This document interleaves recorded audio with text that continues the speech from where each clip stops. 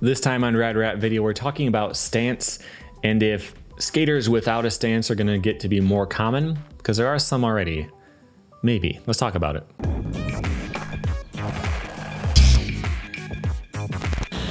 Welcome back to Rad Rat Video, a channel where you can learn new things about skateboarding, where I review old skateboarding games and new ones and do anything that I can figure out that has skateboarding in it, like answering your questions. Uh, you can submit your question by going to radratvideo.com and you can be in the next video. Not the next one, I'm recording a few today, but this first question is from Richard T, who asks, I grew up skating and had the best years of my youth fully immersed in the skateboard scene. I'm now 10 years removed from skating at 30 years old, but still watch content like new video parts and rad rat content all the time. The, the other day, I finally busted out my board and skated down the neighborhood, popping kickflips, couple trays, surprisingly, mostly just cruise for fun. However, I never felt so out of place as a grown adult on a skateboard. I felt like I looked so goofy and never see guys my age and build skating. Got a few weird looks from passersby. Am I just too old to be skateboarding? How can I skate more often without the stigma of an old guy on a board? I don't know where you're from, but in my town, I'm 32. If I go to the skate park, I feel like I'm young there. I don't know if it's the times I pick or or whatever, but it's almost always adults. Sometimes they've got kids with them. So like yeah, you've got little kids, but as far as like you know, it's guys who are at least in their their mid 20s. Like, you know, I don't I don't know how old everybody is, but you know, grown adults for the most part. Um, a lot of them I've talked to, I've talked to skaters there who are like, oh yeah, I used to skate way back in the day. Now that they built the skate park and I'm in my 40s and my kids are, you know, I don't need to be around as much because they're doing homework and blah blah blah. I'll come down to the skate park and I'll do some stuff. Super common to see people who are who are older skating around me. So I don't know where you're from, where that's the case, but I would not worry about it at all. I well, I would. I wouldn't recommend worrying about it. It's something that I would uh, worry about because uh, I yeah anxiety and stuff. But this was a conversation I was having with a, a friend recently, where this friend has very strange hobby. I'm not going to talk about what it is. Uh, and the best place to do this hobby is on the front porch with people walking by and you get some some weird looks and like the conclusion I came to when talking about this was lean into your weird. I think that was the phrase I came up with, which is like, you like it, so do it. Who cares? You know, and it's something I'm still working on. But I was talking about how I have trouble decorating my house in a certain way. You know, like if you were to come in the front door of my house, I've got art hanging on the walls, I've got a bookshelf with some books on it uh, and I've got a bookshelf with some some games on it, and like it's all very neutral. You're not gonna walk in and think like, oh, this is the guy who has whatever. There aren't skateboards hanging up everywhere. There's not a life-size Spider-Man in the corner. There's not. There's nothing weird going on in the house, but maybe there should be. You know, maybe I should just do what I want to do for the sake of my own enjoyment. Like, how often do I have new people over? And if I do have a new person over and they judge the things I have, then I shouldn't be friends with them anyway, you know? So, like, the fact that I would live in a way to prepare for the judgment of people who may never even see it is, it's not right. This, again, this is why I said I would have a problem, but I don't recommend it. Like, yeah, you should do whatever you want to do there was a, a, a, book I read one time. It was about um, how to save money and stuff like that, and on the, the, the benefits of buying a starter house and then just living in it until you die. And the the one of the things was there was a guy who plays one of those big horns. It's uh, like you're standing up and it's all the way down t- uh, to the ground. You play on like a mountainside or whatever. This was this guy's hobby. He loved to play that. Um, and so he built a special room in his house. It's like a really narrow and long room because that's the right acoustics for it or, or whatever the case is. And no one's going to want that room. The house is going to be hard to sell, but who cares? He's going to keep it. He's going to do what he wants to do. He doesn't have to worry about what other people are going to think when he sells it. He's going to worry about what he wants. And so if you want to skate around and you're 30, I mean, come on, dude. Like, it's not a problem. If everyone in your city who skates is like 15, so what? You'll be the cool old guy who skates dropped a light back here. But um, yeah, like who cares? You should lean into your weird, do whatever you enjoy, and not worry about it. The next question is from Joe T, who says, Hey, bud, I started skating at 50 three years ago and would be interested to hear your comment on reasonable expectations for older skaters. I know there's a ton of, of variables you can't address, but just your thoughts on the matter in a general sense. For context, I still can't ollie over a broom handle. I have landed a few shove-its, play around with some nose stalls, can, I can roll around a park okay, pumping through transitions, etc. Thanks. Um, I wouldn't have any expectations. Uh, this is something that comes up from time to time. Like, how do I make sure I'm progressing the right way? Should I learn these tricks or should I skip them so I can get to this other stuff quicker and I can learn these tricks before? I don't think it matters. You know, there is a there's a guy, what's his name? His Instagram is Gasp Skate, I think. He's he's he's an older guy. He's a dentist and is I think he's in his 50s as well. He started skateboarding. he started doing all this handstand stuff and he's done types of handstand uh, combos and stuff that no one has ever done before um, as an older guy. And like that's great. That's amazing that he can do all that. But if he also started skateboarding in his 50s and just learned how to do a shove it and just like to push around, like that's fine too. It it doesn't matter. I don't I I wouldn't have any specific expectations. Like for me, my skill level has pretty much stayed flat for like 20 years. it it just it has. Um, I maybe gotten a little bit better at certain things because of just as you get older, your body like the body feel of like knowing where your body is positioned in the air and all that you just get more comfortable. When you're a teenager and your body's growing and everything you don't really know like it's a little you trust it a little bit less. But now I, I understand where i am in space a little bit better. So certain things are easier but like certain stuff is harder too. And whatever who cares? I think that's fine um, I would prefer to have been getting better and better and better this whole time, and now I'm amazing, but it didn't work out like that. In your case, maybe you will learn tons of tricks and you'll be able to do 360 flips and you'll get all this type of stuff within the next year. Maybe you won't, um, but it doesn't matter. So like you could be like the gasp skate. I'm I'll, I'll put his name on screen. You might be like him and you'll be able to do all kinds of crazy, unique stuff within a couple of years or maybe you'll be the guy, you'll finally learn how to ollie over that broom handle and you'll decide that's the level you're at and that's going to be it. Um, both ways are fine. I, I, don't. I wouldn't worry about your expectations. I wouldn't worry about what you should be able to do at, at a certain point. Like that's not. You're not trying to go pro, so it, you don't have a certain like certain standards you have to meet at certain points. There's no like tests you got to take to make sure you qualify for the certification. Like you're just you're riding around on a board. You're making it do a flippy do or not, and you're just rolling on different things. That's all it is. You don't have to you don't have to put any pressure on it. Okay. Next question is from Guy who says, I just learned 360 shove it underflip lately. Some of my friends say it's just a 360 flip. Do you think it's pointless to call a different name if the board is doing the same thing? Um, in this case, I do. So I, I, have footage of me doing one of these before. I'll, I'll show you the trick he's talking about if you're not uh, not familiar with it. So it, it flips the exact same way as a 360 flip. Backside 360 flips like a kickflip because it you know you're hooking your toe under it as it starts to spin. It looks a lot like a 360 flip. If you were really sneaky about it, you could probably do one in a game of skate and they might not notice. You know, if you put your front foot in a really kick flippy type of position and stuff, you might be able to, to get away with it. I'd say it's different though. Just since I can do both of them, I can I could say that it, it feels quite a bit different.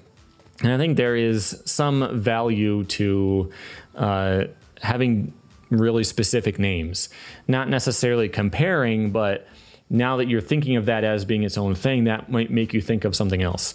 What if I did a heel uh, heel underflip, or what if I did a shove it double underflip? You're not thinking of what's a weird way to do a varial flip.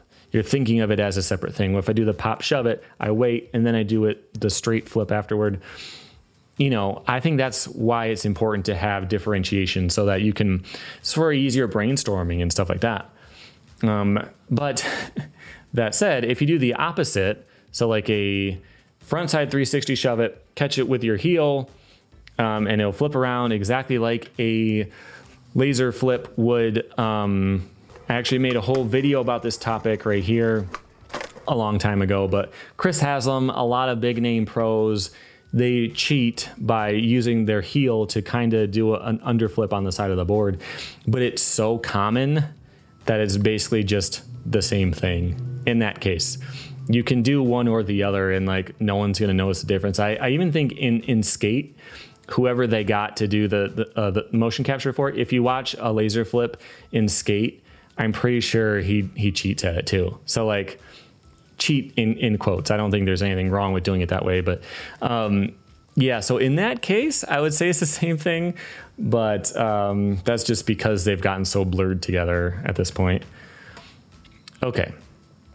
Next question is from Matt. I noticed that you have grip tape on your nose and tail. Does that help significantly for Casper stalls? Is it useful for anything else? I also noticed the way you can go from standing with your nose up and foot on the tail to somehow shift into a rail stand pretty smoothly. How long did it take to get comfortable doing that, and does that have a trick name? Okay. So the trick you're referring to is called a tail to rail. So what you do, um, you stand on the board with both your feet facing forward, put some pressure on this corner, the board will start to tip. And as you do, you hook this foot over and you transition to standing up on, on the wheel. And that is by far the easiest way to get onto the, the, the rail. What a lot of street skaters will do if you tell them, hey, do a primo, um, which it's only called it if you're sliding, by the way. It's like an axle stall versus a 50 50 grind. But if you were to tell them to do that, what they would almost always do is stand on the bolts, push the toes down, and jump up. That's harder. That's one of the harder ways to do it because you have to jump up and land on it my way, you never lose contact with the board. So as the board's starting to tip over, your foot's on the wheel before it even comes down. And before your front foot is on it, you're already solidly locked into it. So it's a very simple, very, very easy, very consistent way to do it. It may be a little bit weird to, to learn it and to get used to the feeling and how you shift your weight and stuff like that. But once you get the hang of it, it is the easiest way to get in it to, into it by far.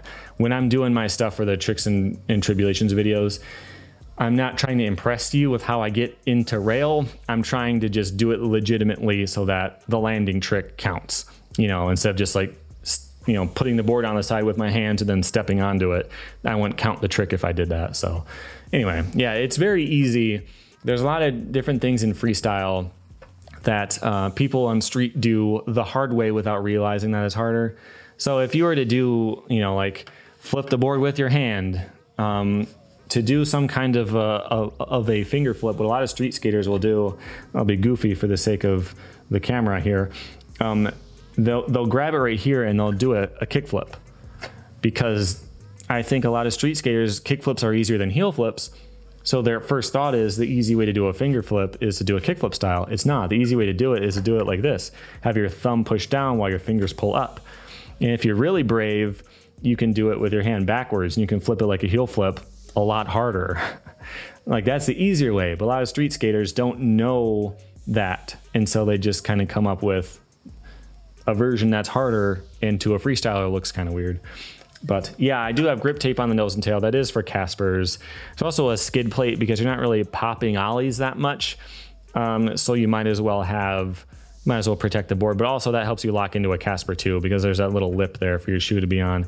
Doing a legitimate Casper where neither foot touches the ground at all uh, on a street board is really hard because the, the tail is steeper. You land on it. I was trying a Casper to Casper on a normal street board and I could land on the tail, then my foot would slide down and hit the ground. Your back foot's not supposed to touch the ground, front foot either. Um, nothing is supposed to touch the ground in, in a Casper. So, like doing it that way on a street board is pretty much impossible to do a legitimate Casper.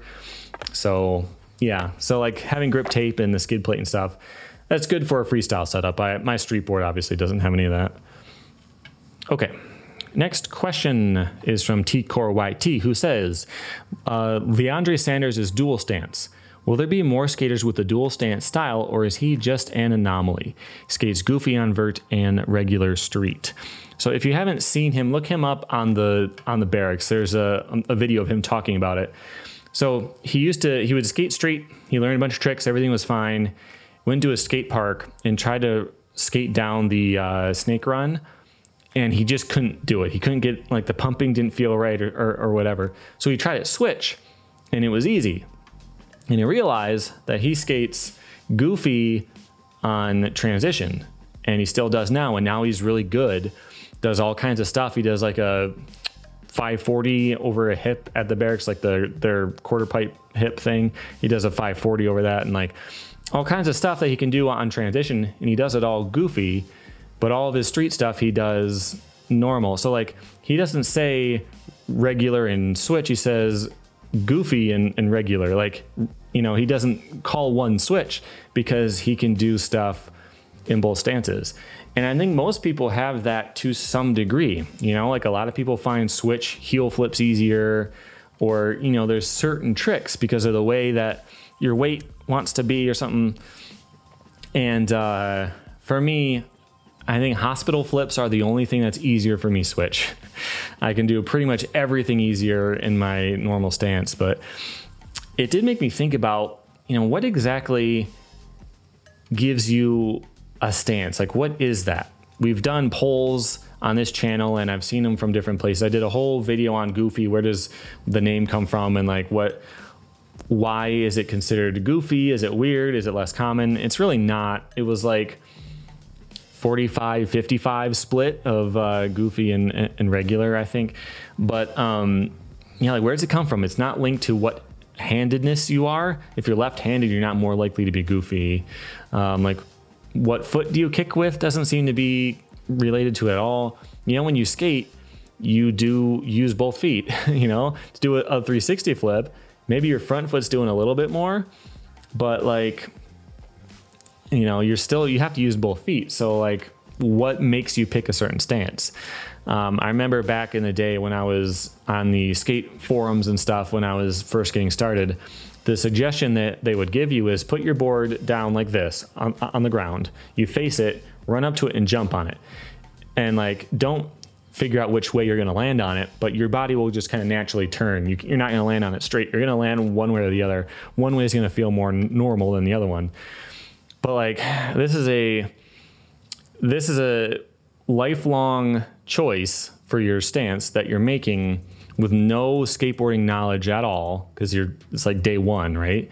Maybe you got to this forum and you got that tip, but I mean, how how valuable is that tip? You're learning, you're deciding what stance you're going to skate in for the rest of your life, just kind of randomly. And I feel like a lot of people picked their stance based on what was popular or who was popular at the time. So um, I did a video on how the skate series is actually goofy stance propaganda, which is mostly tongue in cheek, but like in that game, a lot of the pro skaters are goofy. Your character that you make starts off defaults to goofy. Um, in some types of challenges, like the the skate, like when you play skate against somebody else, you switch stances to be goofy instead of them switching to match you. Um, so like, I wonder how many people started skating after playing those games and they picked Goofy because of all that stuff, right? So, are they really goofy? What does it mean to really be goofy? Is this even a real thing? And I'm starting to think that it's not. Uh, a few years ago, uh, uh, Rodney Mullen did a, a, video where he's talking about like deconstructing stance and getting rid of it in himself. And I remember when this video came out, a lot of people were a little bit concerned for his mental health because it's it seems a little weird all the stuff that he's talking about and to just get rid of the notion of stances and everything. But I kind of feel like he's he's right you know? Like maybe the guy we're talking about uh, uh, Leandre he skates transition better goofy. So he feels more comfortable riding goofy but he learned all of his tricks regular. If he had picked goofy in the first place would he have been better at tricks and better at riding in the same in the same way? Like did he pick the wrong stance and that's why he's somewhere in the middle or is it just is it not related to anything like that? And I I just don't know. I, I, there have been people like him in the past that I've heard of. I went to school with a guy who would skate around goofy but do his tricks the other way and do all his tricks switch and he would would get really confusing when you tried to name what the trick was that he did because it was always like he would say whichever one sounded harder, you know. But anyway, um, so yeah, like was it fakie if you're in your normal because you you normally skate goofy, so you're doing something off the nose. Is that is that nollie or is it fakie? Confusing. But uh, yeah, I think that if we didn't tell the next generation that there were stances, you know, um, like we just played a prank or did an experiment on the next generation of skaters, we never mentioned stances before, and you just said it like like they did in the in, in, that Berrics video, like do it regular, now do it goofy. Would they feel that this trick was always consistently harder in this stance? Or would it be more complicated than that? I think it's more complicated, and we just don't know exactly why. So that's not a great answer, but yeah, I think that I think that is more common than you think, and I think the idea that this is switch and therefore it's harder uh, is too hard to shake. You know, like for me, I almost never skate switch at all. If I went out and I realized that this particular trick, let's say something really hard, uh, was easier for me switch, I don't think my brain would accept that. I don't think it would allow me to be good at a switch tray flip, but you know, in a way where it's easier than a regular one. I don't think my brain would allow for that. And um, so we've we've talked about how the level of skateboarding has progressed so much. Street skaters in the 80s, if you could board slide a four set, you were pro, you know, compared to now, a lot of that had to do with not knowing what was possible, right? It's all mental blocks. You don't realize that it's perfectly possible to do a feeble down 20 stairs and it's no big deal. Um, so in the 80s, you had to slowly build up. Um, I think that mental block is is there for people with Switch. Switch is really hard, therefore everything I try in it has to be hard. You know?